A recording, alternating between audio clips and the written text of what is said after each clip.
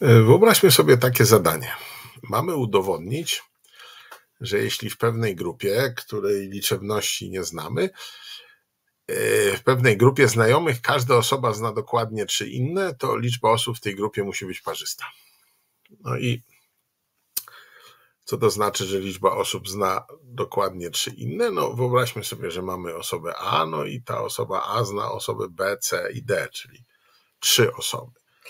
No, osoba D na przykład już zna osobę A, więc może znać jeszcze, czy musi znać jeszcze dodatkowe dwie osoby E i F.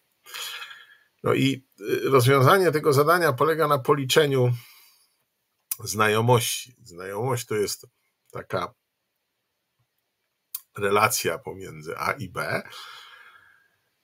Y, no i ta relacja jest symetryczna, to znaczy jeśli A zna B, to B zna A, tak? Ta kreska ma dwa końce, ale liczy się jako jedna kreska.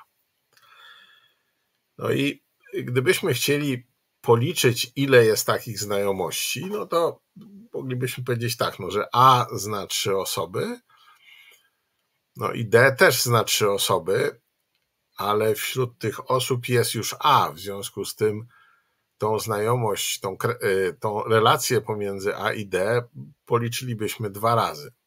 No i to dotyczy wszystkich osób w tej grupie. W związku z tym, jeśli chcemy policzyć, ile jest tych znajomości, to musimy tak uzyskaną liczbę podzielić przez dwa.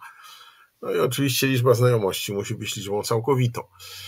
No więc skoro liczba znajomości to jest liczba osób w grupie razy 3, bo każda osoba zna dokładnie trzy inne osoby, to to będzie dwa razy za dużo, bo każdą znajomość taką pomiędzy A i B policzylibyśmy w ten sposób dwa razy, więc trzeba to podzielić przez dwa. No i wynik musi być liczbą całkowitą, no ponieważ 3 nie dzieli się przez 2 jako liczba nieparzysta, no to liczba osób musi dzielić się przez 2. I to już jest rozwiązanie tego zadania.